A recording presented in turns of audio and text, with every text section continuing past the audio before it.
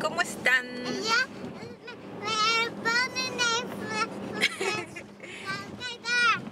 Hoy es lunes y es eh, como 8 8.26 de la mañana y el esposo me va a hacer favor, aquí viene el esposito, esposo, Hola.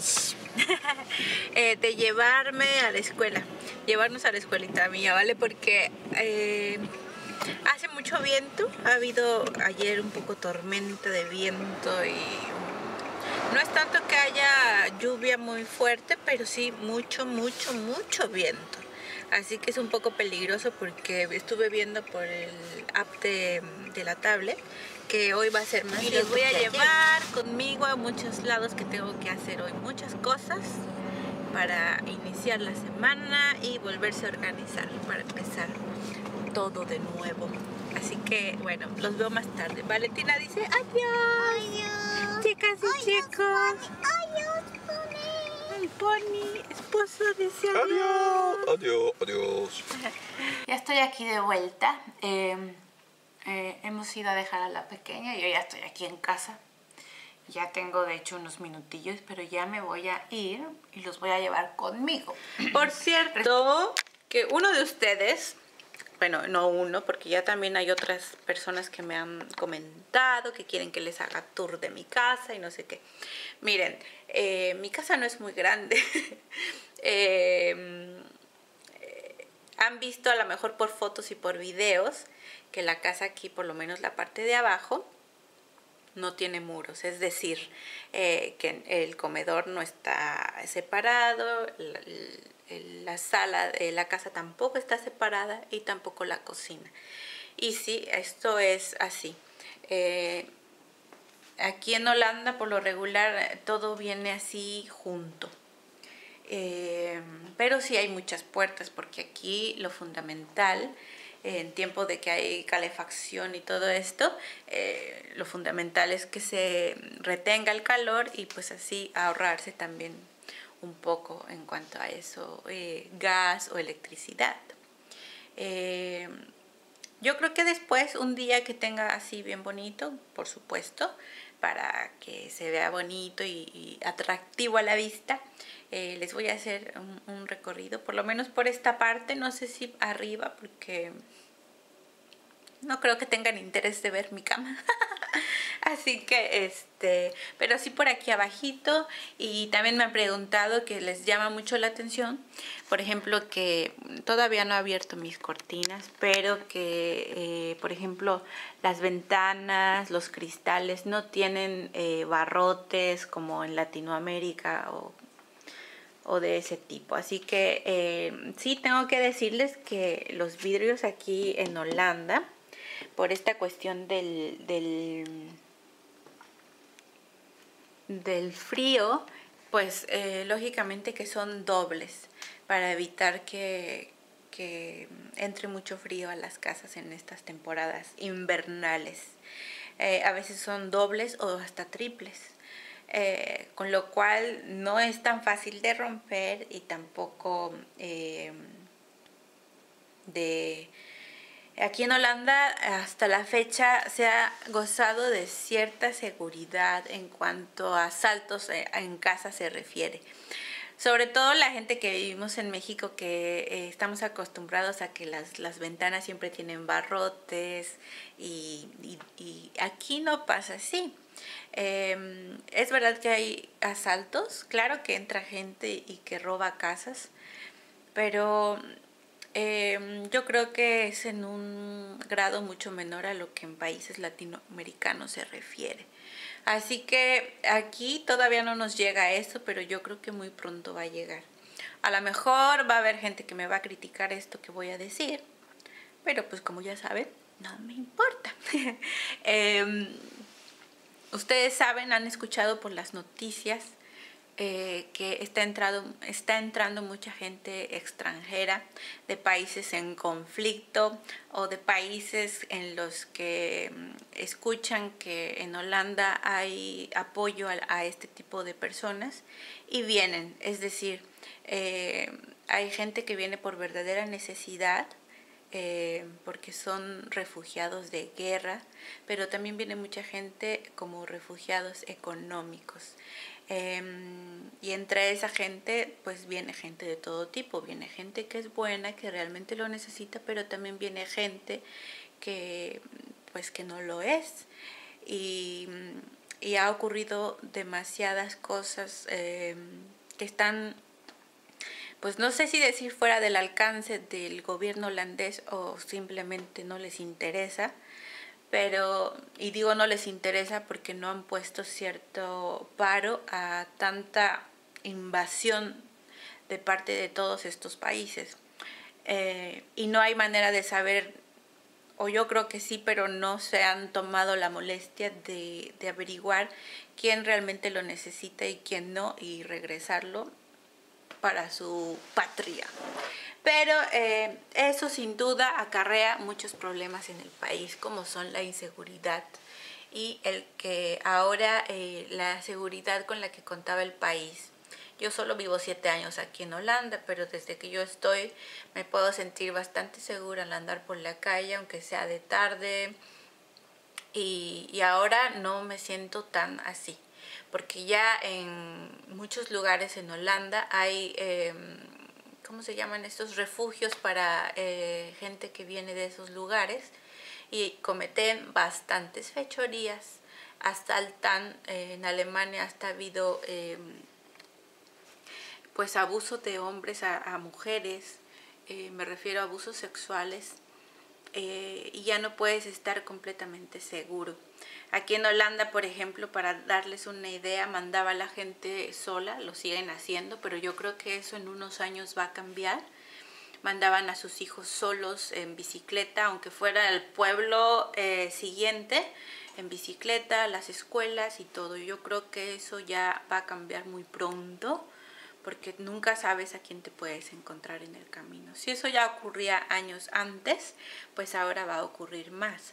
Y quiero ser un poquito clara en cuanto a este aspecto porque no, mi comentario para nada es discriminatorio, ni racista, ni tiene nada que ver con las religiones, pero ciertamente creo que eh, Holanda, al ser un país muy desarrollado y avanzado y organizado, eh, al entrar gente que no está eh, acostumbrada a eso, crea conflictos. Eh, sin ir más lejos, yo misma, yo no soy eh, holandesa, he tenido que llegar aquí y adaptarme a todo lo nuevo. Al principio a lo mejor te puede parecer exagerado, pero cuando ya tienes unos años viviendo aquí te das cuenta que no hay nada como la organización para que un país funcione eh, pues como es debido. Y si llega gente que, todo es a la y se va, eh, y no se quiere eh, regir bajo los las reglas que hay aquí en el país, pues es ahí donde empieza a haber conflictos y, empieza también a crecer la delincuencia. Así que mm, ahorita mi casa no tiene barrotes, ninguna casa aquí en Holanda se puede decir que, que, tiene barrotes, es algo de aquí muy típico y que por supuesto a los extranjeros nos llama muchísimo la atención de que no hay barrotes en, las ventanas ni nada de esto.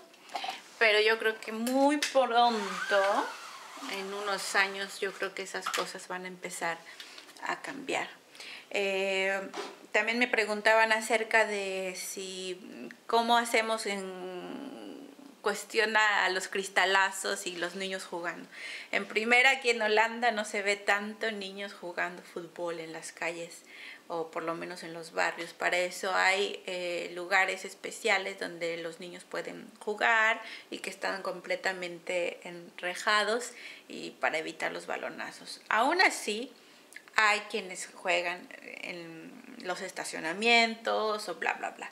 Y puede llegar a ocurrir que haya cristalazos. Pero aquí en Holanda, les digo que todo está muy organizado y hay seguros para todo. Así que la mayoría de las personas tienen aquí seguros contra ese tipo de cosas. Están asegurados para todo. Como les decía, por ejemplo, aquí está la puerta que, divide el pasillo de, la entrada.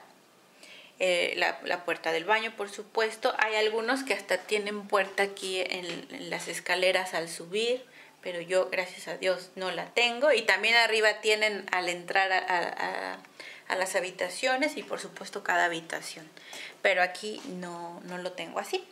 Y por lo regular nos gusta mantener las puertas cerradas para que el calor eh, se conserve y pues no tengamos que estar teniendo prendida la calefacción constantemente. Eh, por ejemplo, aquí es este eh, mi, mi cast o mi, ¿cómo se dice? Donde guardo algunas provisiones y cosas que no me gustan que estén tanto a la vista. Y este, que parece refrigerador, es el, la calefacción central. Eh, ya les había contado yo que aquí mi casa se calienta por medio de Flurverwarming, es decir, que en el piso hay una serie de mm, espirales por debajo del suelo eh, que se calientan por medio de agua, eh, por una pompa que hay eh, subterránea y eso lleva agua caliente a todas esa- esos espirales y pues aquí puedes andar hasta descalzo porque el, el piso está calientito. Y eso eh, es mucho mejor que los radiadores porque los radiadores los que están pegados a la pared eh, pues solo calientan la zona en la que están. En cambio esto eh, calienta toda la casa. No solo aquí abajo sino también tenemos en la primera planta y también en el solder que es lo que vendría siendo eh, el diván o cómo se llama eso en español. Y, y en el baño también, por supuesto, hay. Creo que el único eh, pedacito que no tengo eh, calefacción es aquí en el baño chiquito, el, el que está aquí abajo. Y en este pedacito donde tengo este tapetito. Por eso tengo el tapete, porque como siempre ando descalza cocinando y todo eso, por lo menos en este pedacito no hay calefacción. Aquí sí, pero justo aquí, aquí no. Así que con eso me protejo, me protejo un poquito de, del frío y, y bueno, pues es bastante agradable. Así que ese refrigerador sote, pues no me gusta, pero pues es lo que hay. Y porque me quita mucho espacio, en realidad ese tendría que ser mi, mi armario de provisiones y eso, pero eso prácticamente lo ocupa todo. Y vean, es como un pequeño cuartito. Pueden ver ustedes, es como un pequeño cuartito porque pues ahí es para meter la, el cajonero, en el, el refrigerador sote ese, o calentador sote. Así que por medio de ese, eh, esa cosa, pues tú puedes regular y todo. Y bueno, también en tiempo de, de verano y todo eso, por medio de este termostato, ¿no es cierto? Este, puedes este eh, también bajar do- de 2 a 3 grados en verano. Así que llegas todo aca- acalorado y si lo tienes eh, prendido y está en congelamiento, este, mm, eh, pues llegas y aquí la gloria. Estás totalmente fresquito y, y es muy rico, pero por supuesto. Y bueno, ya me callo. Así que eh, eso es para responderle un poquito sus preguntas, sus dudas y todo. Y vámonos ahora, porque si no, se me acorta el tiempo. Y bueno, aquí comenzamos en el supermercado. He tenido que quitar el audio original por la música del supermercado. Pero bueno, aquí como en muchos países de Europa, para los carritos se tiene que meter una moneda. Y bueno, es la forma en que mantienen todos los carritos juntos y ordenados. Yo voy a utilizar mi tarjetita para escanear yo misma todas mis compras y así evitar pasar más tarde por la caja. Así que eh, de esta forma tengo que poner accord, que estoy de acuerdo en todo y listo. Bueno, yo siempre evitaba grabar porque siempre está lleno de gente, pero hoy está ideal, casi no hay gente. Y voy a aprovechar para comprar este paquetito porque les tengo una sorpresa y es que voy a preparar esta eh, sopa holandesa que bueno es típica de esta temporada. Así que Aquí le paso a la pequeña y ella me va escaneando todo. Así que también eh, quiero aprovechar para mostrarles un poquito cómo se ve el supermercado y las frutas que hay aquí. Por ejemplo, aquí eh, estas sandías que están chiquitísimas. Yo solo las había visto aquí. Y bueno, también hay de estos mangos petacones, porque aquí nunca he podido encontrar del mango de Manila. Y bueno, es más o menos así eh, las frutas que más o menos están constantemente al alcance de todos. Y bueno, esto les quería mostrar desde ya hace algún tiempo y es esta maquinita para hacer eh, jugo de naranja. Aquí están los envases que hay de tres tamaños distintos. Eh, me imagino que uno desde 250 mililitros, otro de 500 y otro de un litro. Así que como no podía grabarme yo misma haciéndolo, Valentina me ayudó. y bueno, es tan simple como poner la, botellita y apretar esta, palanquita o jalarla y sale eh, exprimido todo el jugo de naranja. Así que sin problema. Por supuesto que por utilizar la maquinita esto sale más costoso, pero tenemos nuestro jugo listo. Bueno, como vieron yo ya aquí ya he escaneado el paquete de sopa que costó 2,69 euros y también el jugo 1,99 Bueno, aquí en esta tienda 2 kilos de naranja cuestan 1,69 y a mí el jugo me salió en 1,99 de 500 mililitros. Así que pueden ver que sale más costoso hacerlo en la maquinita. Por eso yo siempre lo hago yo misma y, bueno, solo lo hice así para mostrarle a ustedes. Bueno, y aquí está buscando los jalapeños y pensé que no había, pero estaban abajo escondiditos. Esto eh, cuesta, me parece, 99 centavos 100 gramos, pero normalmente es más caro. Y ahora aquí tenemos en 1.19 los aguacates o las paltas, que normalmente están a 99 centavos. 69 centavos los pepinos y bueno, esto es más o menos para que se den una idea de los precios aquí. Unas veces están más caro, otras veces más eh, económico, pero bueno, eso es así en todos lados. Ahora solo escaneo todo y, y listo. Bueno, ya llegamos aquí a las carnes frías. Y es aquí donde yo compro, por ejemplo, el chorizo español, que es lo más parecido que encuentro a longaniza y todo eso que estamos acostumbrados en México. Y bueno, ahora ya llegó el momento de pagar. Simplemente hay que regresar aquí el scan. Seguir las instrucciones. Volver a pasar tu, tarjetita y después pagas normalmente con tu PIN Después simplemente retiras tu ticket y es esto lo que te va a permitir salir de la tienda porque lo tienes que volver a escanear para que se abra la puerta y, todo esté en orden. Así que aquí la pequeña está ayudando y listo.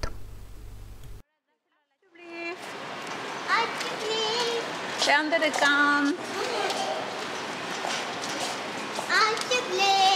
Dankjewel. Wil je eventjes? Alsjeblieft. Valentina. Valentina.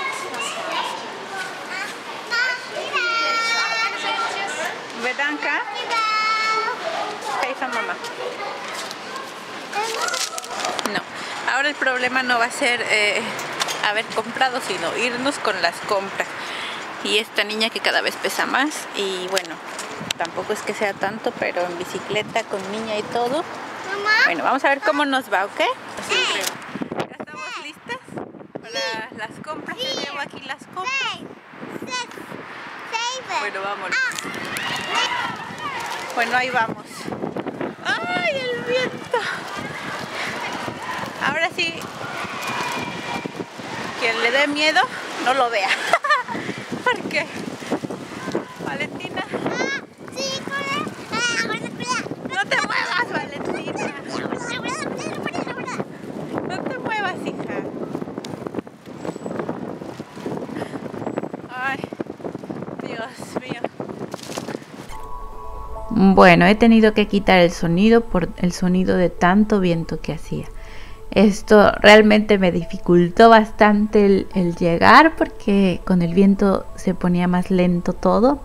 Pero bueno, finalmente les pude grabar un poquito de, de mi traslado.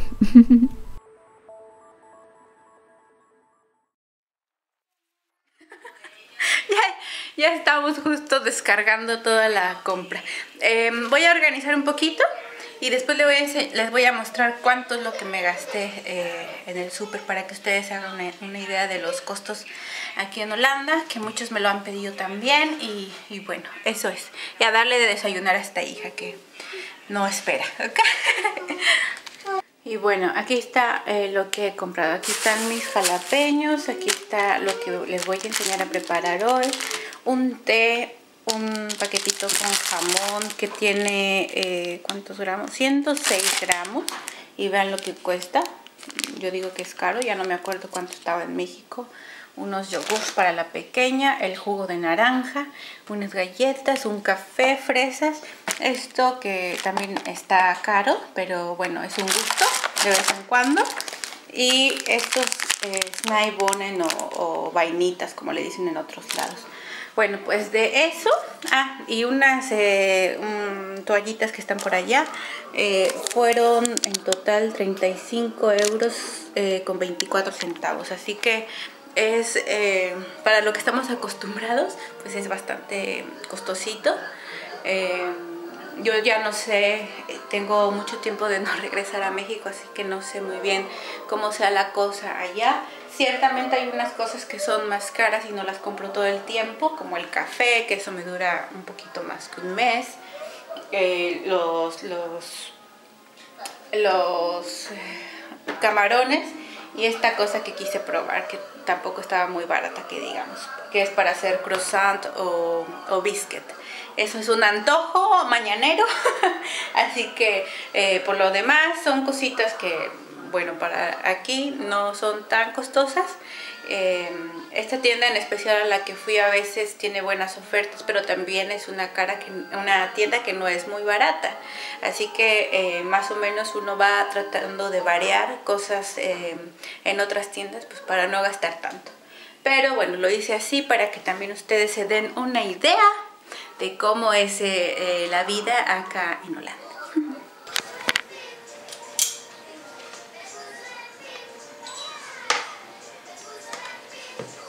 Ya estoy aquí. Ya no les este, pude grabar nada durante el día. Ya no hice gran cosa interesante. Lo único que estuve eh, con la pequeña, arreglando algunas cosillas y todo. Y ahorita estoy cocinando una sopa que no se las voy a enseñar tanto en este blog, pero lo, lo voy a poner en un video eh, aparte. Así para que ustedes tengan eh, también una recetita aparte, ¿ok? Así que espero que les guste mucho porque esto es un echte Nederlandse soepje. ¿Eh? Hola, ¿qué tal? Ya ayer no me pude despedir, eh, estaba haciendo mi video y todo y me quedé sin internet. Eh, y ya eh, me puse toda loca porque ya no iba a tener para editar el video, que me, me olvidé de grabar bien eh, la despedida. Pero ya felizmente todo eso se arregló y hoy por fin les eh, estoy por eso subiendo el video. Así que les mando un, beso bien grande. Gracias por ver el video, que cada vez se hacen más grandes, pero era necesario explicarles porque eh, mucho de lo que les hablé eran también sus dudas. Así que no me enrollo más, me despido y hasta otro día. Adiós.